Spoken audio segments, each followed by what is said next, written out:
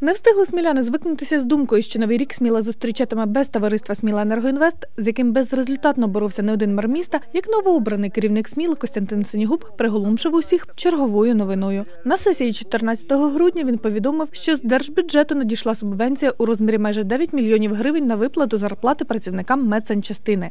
Нагадаємо, доля цієї лікарні залишалась невизначеною протягом цілого року. 12 місяців люди працювали виключно на ентузіазмі, не отримуючи жодної копійки. Неодноразово навіть перекривали дорогу, намагаючись привернути увагу посадовців до проблем рідного закладу. Та тоді влада залишалась глухою. І ось перша перемога.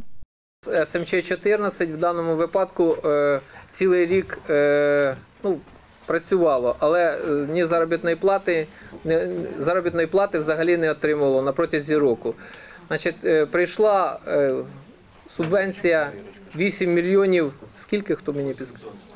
Да, 8800 для того, щоб ми е, їм перерахували на зарплату, там на податки та інші платежі. Тому я думаю, що це невелика перемога всіх нас. Ці майже 9 мільйонів гривень в держбюджеті передбачали на підтримку закладів охорони здоров'я на території Луганської та Донецької областей. Тож, щоб сміла їх не втратила, на сесії депутати міськради першими позитивно проголосували питання щодо внесення змін до мережі закладів охорони здоров'я міста, включивши в неї медсанчастину номер 14. Це саме те, чого вперто не хотів робити Віктор Федоренко, перебуваючи на посаді виконуючого обов'язки міського голови.